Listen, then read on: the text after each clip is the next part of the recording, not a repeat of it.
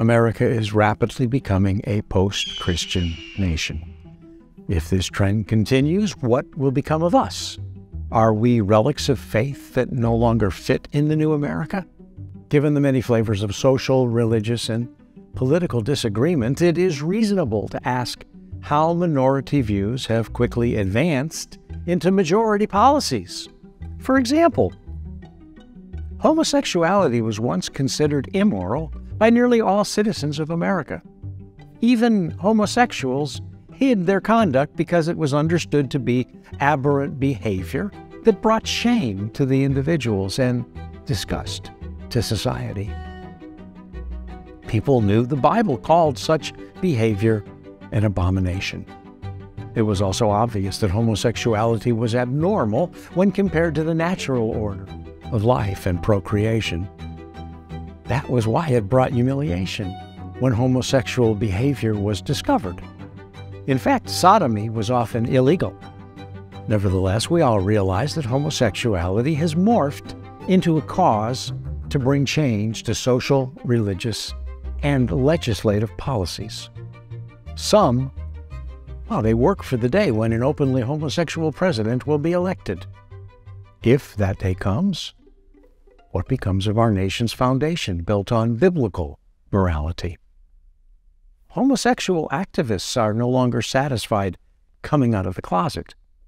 Some want to lock vocal heterosexuals in the closet where disparate views can be silenced.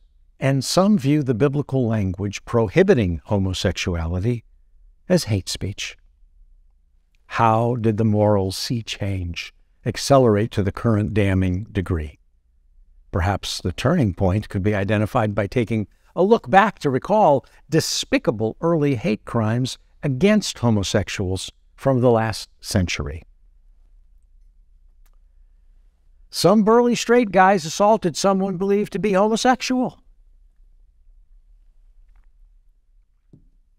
Most sane people agree that nobody should harm, torment, or kill a homosexual person in modern society.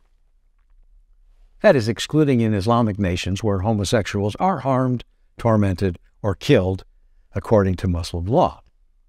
Now, even though the Bible suggests some sexual sins are best managed through horribly harsh punishments, our culture rejects such treatment of fornicators, adulterers, or homosexuals, etc. Homosexuals should be protected, just like all law abiding citizens. We all deserve protection under the law. Homosexuality happened to be a minority problem, and even calling it a problem can now be considered inappropriate by some moderns.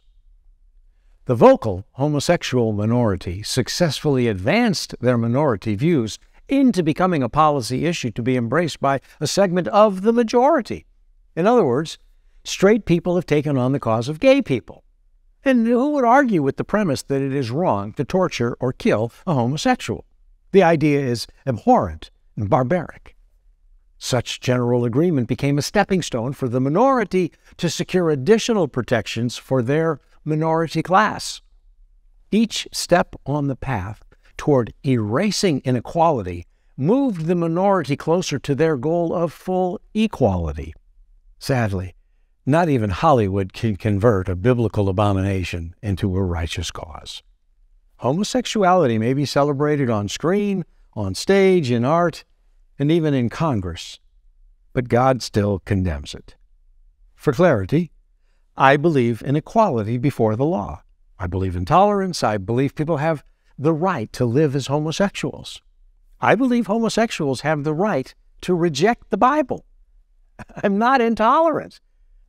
I simply reject the rhetoric of some homosexual activists who would demand that I support their behavior or call it normal. It must be abnormal because that's the way the Bible deems it an abomination. It's not normal. Of course, not everyone believes the Bible, so it is absurd to assume those who do not should be expected to follow the standards declared in a book they reject. However, it is also absurd that those who do reject the Bible should presume that the rest of us should abandon our biblical beliefs simply because it makes them uncomfortable. Comfort is not an inalienable right or an expectation guaranteed by our Constitution. Do the right things and you might find it. Do the wrong things and it will likely elude you. If a homosexual insists on being comfortable in a sinful habit, their comfort is best protected by not asking a Bible believer if it's okay to flaunt a sinful practice. If you want to remain comfortable, quit sinning. Or don't ask a person who believes the Bible for their opinion about sin. Homosexuals do not require our approval. Why should they demand our acceptance? Why can't we just agree to disagree about such things and be nice to each other in spite of our differences? Homosexuality has found its pathway to becoming mainstream. Supporters of homosexuality have successfully advocated for social, religious, and legislative policy changes advancing the cause of homosexuality across our nation and within numerous so called Christian denominations. What was previously labeled simply as gay became a modern alliance known as LGBT. Soon, other sexual minorities opposed to biblical norms teamed up to advance the cause of additional aberrations. As of this time, the abbreviated label has expanded to LGBTQQ1PS2AA. I'm not making this stuff up. It was necessary to include smaller and smaller subsets of confused sexual oddities.